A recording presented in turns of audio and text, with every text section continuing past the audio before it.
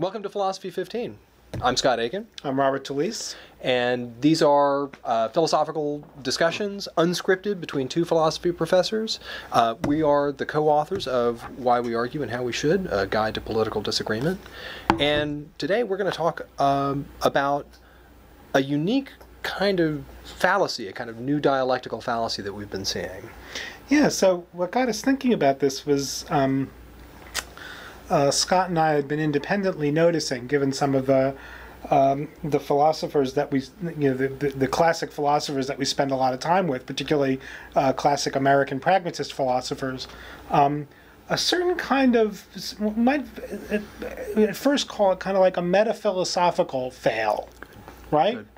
Um, where what one will find often um, uh, is um, a kind of seemingly deliberate, maybe, asymmetry between Yeah.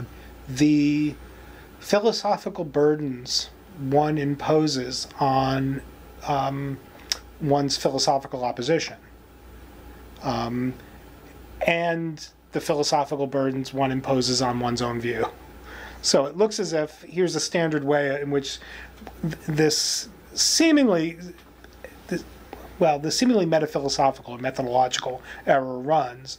You hold the opposition to super high philosophical standards, show that the opposition cannot meet those standards, and then articulate your view as if you've cleared the decks and now there are no standards in play. Right. Uh, now all uh, now that I've shown you, think about Peirce on Descartes or or Dewey on Kant uh, or William James on idealism. Like now that I've shown you that these other programs are failures. Let's leave it at that. We don't have to get into whether they are failures. Uh, That's the whole other question. But the argument is, now that I've shown you that these other programs are failures, there are no philosophical competitors in play any longer, so I just get to report my philosophical view as if that were sufficient to vindicate it. Right. You're the only you're the only game in You're town. the only now. game. Like you, Right. so we might even think of it as sort of a, a metaphilosophical error of the sort of clearing the decks fallacy. Now that the decks are cleared, there's no philosophical predators in view.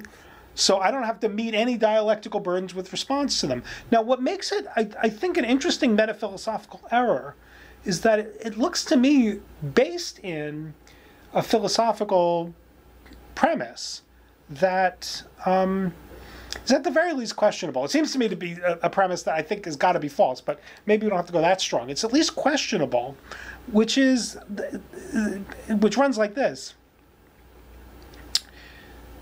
For some philosophical program or view or collection of views or project, um, uh, P, call it, um, if it can be shown that P's positive philosophical claims fail, then P has been um, uh, P has been evacuated of, or P has been sort of uh, uh, deprived of all of its critical force with respect to the competitors of P.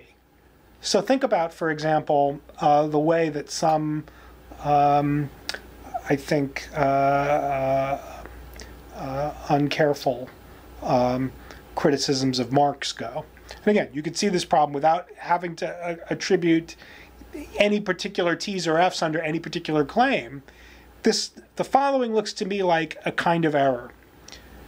Show that Marx's positive conception of the of economics, his positive economic views or his views in economics are false. Take yourself to have shown that the capacity for Marxist analyses to be critical of norms in a capitalist society, that those are also diffused. Right. You don't have to answer any of their objections This- once you've shown right. that their view is false. Good. Right. One more is, is, is Yep. even more prevalent. Think about how some, again, I think uh, fast and loose criticisms of utilitarianism go. Right? It's like you raise you you raise the nth version of you know uh, uh, you know the ticking time bomb or the you you you raise whatever favorite counterexample to utilitarianism you've got. Right. Then you say, oh, well, utilitarianism's been knocked out of contention. Therefore, there are no utilitarian driven criticisms of anti utilitarian views that need to be responded to.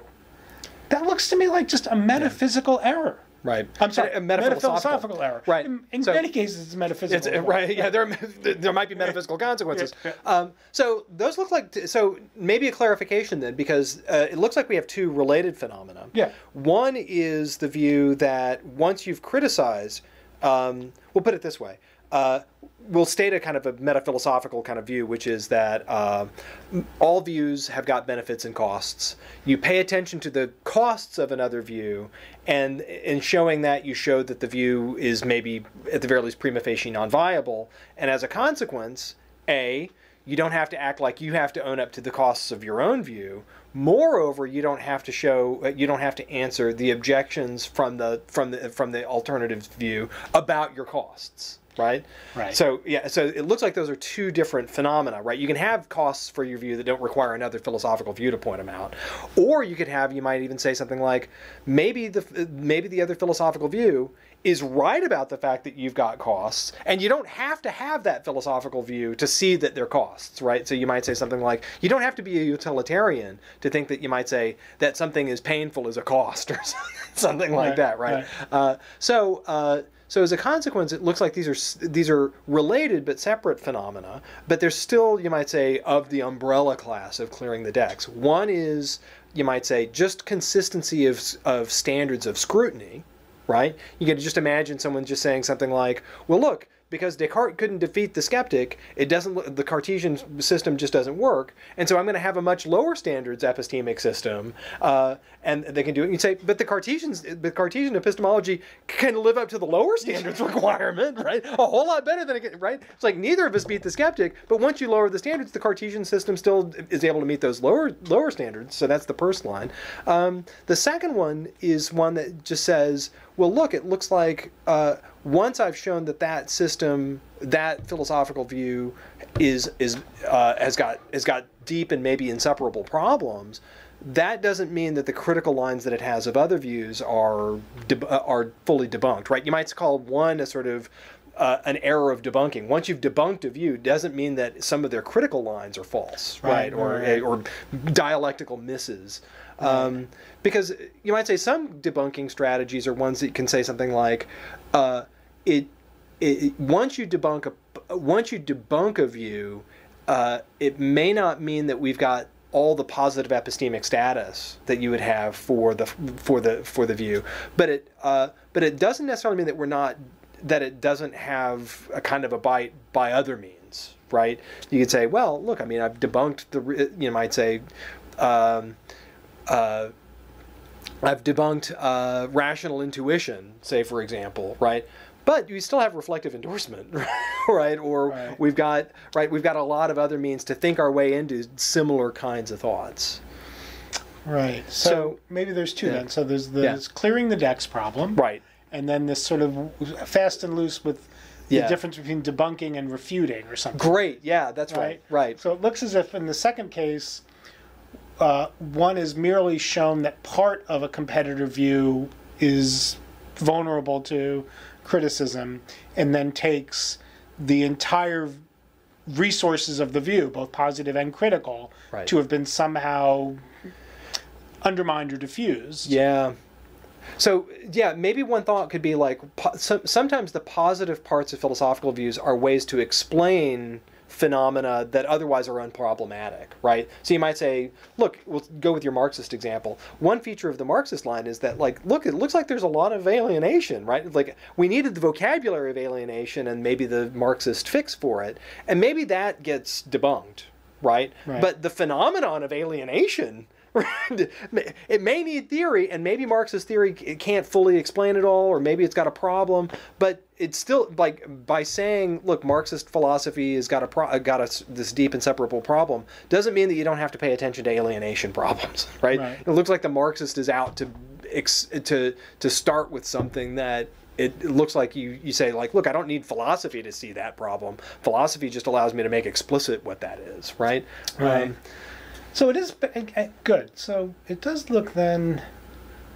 especially um, puzzling that both of these um, errors are so prevalent among the pragmatists. Yeah, why is that? Uh, now, I think that it's we have a term for that. Well, well but, but, but hold on, before Yeah. we get to the term, Yeah. it's like because it looks. I mean, let's say what's about why it's odd that it's so prevalent among them Right. is because you would think that, um, well, we know that in their better moods, uh, metaphilosophically, the pragmatist is always in a comparative game, right? The pragmatist is is maybe because this is a maybe this is tightly connected to fallibilist views, maybe this is tightly connected to experimentalist views or ameliorative views. Any of these ways in which pragmatists characterize their program make philosophy itself intrinsically a comparative thing, right? There is no winner. There's just the best thing you've got so far, and the best thing you've got so far is essentially, right, intrinsically a comparative judgment, Yes. right? Um, there is no sort of clearing the threshold and and non in a non-comparative sense that's the game is won. So that's how the pragmatists speak out of one side of their mouths. That's exactly right. But then whenever they do, but then whenever they make the comparison with, you might say, met, the metaphilosophical comparison, Right. they say, well, we're the only game in town because that's the only, we're the only ones who say that, or we're the only ones who do this right, and as a consequence, everybody gets the back of the hand, right? Um, Which just looks. I mean, Part of it has to do with the fact that it's a, I mean, look, philo- now we're going to get a little bit off off of the topic of this of this fallacy. Is that pragmatism is for the most part a metaphilosophy first program, Right. And that it's got a view about how to do philosophy right. And once you've got this view about how to do philosophy right, a lot of the other views are going to sound less like philosophy and more like noise.